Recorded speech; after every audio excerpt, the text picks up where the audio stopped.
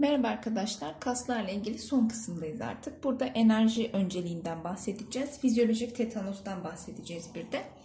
Ee, şimdi kaslarda enerji önceliğine baktığımızda bir kere kaslarımız daima enerji harcar. Bunu unutmayın. Biz dinlenme sırasındayken bile enerji harcıyor ve kaslarımızda mitokondri sayısı çoktur arkadaşlar. Bunu da unutmayalım. Çünkü mitokondri enerjinin üretildiği yerdi. Hani e, organeldi. Şimdi baktığımızda birinci sırada ilk önce sitoplazmada mevcut olan ATP'yi harcıyor. O zaman birinci sırada ne olacak? Sitoplazmada mevcut olan mevcut olan ATP'yi harcar. Yani hazır ATP'yi harcıyor. ATP'yi parçalıyor. ADP artı fosfat artı enerji oluşturuyor. Bu enerji sayesinde de işte kasılma, gevşeme olayları gerçekleşiyor. İkinci sırada ise ikinci sırada ise kreatin fosfat arkadaşlar. İkinci sırada kreatin fosfatı harcıyor. O zaman şöyle diyelim. Kreatin fosfatı kullanır. Kreatin fosfat. Peki nedir bu kreatin fosfat?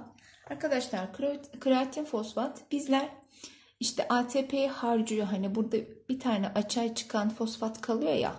Bu fosfatı kreatin dediğimiz bir proteine bağlıyor. Bu protein kaslarda hazır olarak bulunuyor. Daha sonra ortamda bulunan ADP'lere bu fosfatı mitokondri tarafından bağlıyor ve ATP üretiyor. Bu ATP'yi de harcıyor arkadaşlar. İşte bu şekilde bir olay gerçekleşir. O zaman şöyle diyelim. Kasılma sırasında bakın şöyle bir olay gerçekleşir. Kasılma sırasında kreatin fosfat, kreatin fosfat artı ADP ne oluyor? Bir enzim, kreatin kinaz dediğimiz bir enzimle kreatin artı ATP üretiliyor. İşte bu ATP'yi üretip harcıyor arkadaşlar. Gevşeme de yani dinlenme sırasında ise tam tersi olur. Dinlenme sırasında tam tersi olacak. Ne olacak? Kreatin artı ATP diyelim ki bunlar fazladan kaldı bu ATP'ler. Hemen bu ATP'yi parçalıyor. Kreatine fosfatı bağlıyor. Kreatin fosfat oluşuyor. Artı bir de ADP üretiyor. Bunu yine kasılma sırasında kullanmak üzere bırakıyor arkadaşlar. İşte ikinci sırada yaptığı da bu. Peki üçüncü sıraya geldiğimizde üçüncü sırada glikozu kullanacak. Yani glikolitik yol dediğimiz yolu kullanacak. O zaman şuraya 3 diyorum. 3. Glikoz. Şimdi bu glikozu iki şekilde kullanabilir. Şöyle glikoz diyorum. Arkadaşlar glikozu iki şekilde kullanır. Hatta biz buna glikolitik yol diyoruz. Glikolitik yol diyoruz. Üçüncü yoludur. Burada ya oksijenli solunum yapar. Bakın oksijenli solunum ya da fermentasyon, laktik asit fermentasyonu yapar. Laktik asit fermentasyonu. Şimdi oksijenli solunum gerçekleşirken şöyle oluyor. Karbondioksit artı e, glikozu harcayarak arkadaşlar su oluşturuyor. Artı bir de enerji oluşturuyor. Enerji. Bu enerjide ATP ve ısı oluşuyor. Yani ATP ve ısıya dönüşüyor. 32 tane ATP ve ısı oluşuyor. Bu ısı sayesinde vücut ısımızın artışı, eksilmesi düzelir. Böylece vücut ısımız sabitlenir. Laktik asit fermentasyonu sırasında ise glikozu parçalayarak ne üretir? 2 tane laktik asit üretiyor. 2 tane laktik asit artı arkadaşlar enerji üretir. Bu enerjinin yine iki tanesi ATP'ye dönüşüyor. Bir kısmı da neye dönüşüyor? Isıya dönüşüyor arkadaşlar. Bu olay bakın laktik asit fermentasyonu sadece çizgili kaslarda olur. Sadece çizgili kaslarda olur. Diğer kaslarımızda gerçekleşmez laktik asit fermentasyon. Peki neden oluyor bu olay? Diyelim ki kaslarımızı çok fazla çalıştırıyoruz. Mesela koşu yapıyoruz. Aldığımız oksijen enerji üretmeye yetmiyor. Oksijenli solunum yapmaya yetmiyor kaslarda. Ne yapıyor kas? Diyor ki benim acilen enerjiye ihtiyacım var. Hemen daha kısa olan yolu kullanıyor.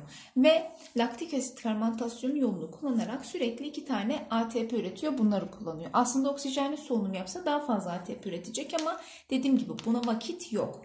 O yüzden de laktik asit fermentasyonu yolunu kullanıyor. Bu laktik asit bizim kaslarımızda birikiyor ve bir süre sonra ağrıya sebep oluyor. Dinlenme anına geçtiğimiz zaman ise bu laktik asit tekrardan glikoza dönüşebiliyor arkadaşlar. Bir kısmı da kana karışıp beynimizin uyku bölgesini uyararak uykumuzun gelmesini sağlıyor ve yorgunluğumuzu oluşturuyor. İşte laktik asit bu şekilde e, bizlerde yorgunluk oluşturuyor diyelim. Gelelim dördüncü yolumuza bakın. Dördüncü yolda glikojen yolunu kullanır. Eğer ki e, kanımızda yeterli glikoz yoksa ne oluyor? Glikojen glikoza parçalanıyor ve bu şekilde kullanılır. Glikoza parçalanır ve kullanılır. Ve kullanılır. Beşinci olarak da şunu söylüyoruz. Yağlar ve proteinler. Arkadaşlar diyelim ki vücudumuzda glikojen deposu yok. Ne oluyor? Depo olan yağlar ve proteinler kullanılır proteinler kullanılır. Evet enerji önceliği bu şekildedir kaslarımızda. Bir de ben kaslarda şunlardan bahsetmek istiyorum. Fizyolojik tetanos veya normal tetanos bundan bahsetmek istiyorum arkadaşlar. Bunlar da karşınıza çıkabilir. O yüzden şöyle e, bir grafik çizeceğim size kaslarla ilgili. Bakın kaslarda kasılma ve gevşemeye bakalım. Şimdi kasımızın kasılma gevşeme durumuna baktığımızda bir gizli evresi vardır. Bir kasılma evresi bir de gevşeme evresi vardır arkadaşlar. Şurası gizli evre. Gizli evre. Şurası bakın kasılma evresidir. Şurası da gevşeme evresidir. Gevşeme. İşte bu olay tamamen hani 0,1 saniye gibi bir sürede gerçekleşiyor ve kasılma ve gevşeme olayları gerçekleşiyor. Arkadaşlar kaslarımız tam bayılma durumu hariç e, hafif de olsa kasılı durumda kalıyor. Biz buna kas tonusu diyoruz. O zaman şöyle diyelim. Kasların bir miktar kasılı kalmasına kasılı kalmasına kas tonusu denir.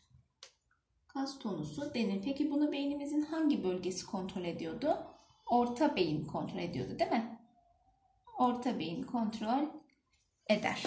Evet kas e, tonusu dediğimiz olay bu şekilde. Kas tonusu haricinde bir tanımımız daha var arkadaşlar. Bu da tetanos. Nedir tetanos? Hani bizim bu bildiğimiz hastalık olan tetanos değil şu.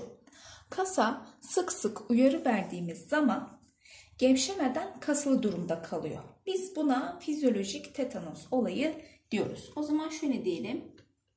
Kasa sık uyarı verilirse gevşemeden gevşemeden kasılı kalır. Kasılı durumda kalır. Buna fizyolojik tetanos denir.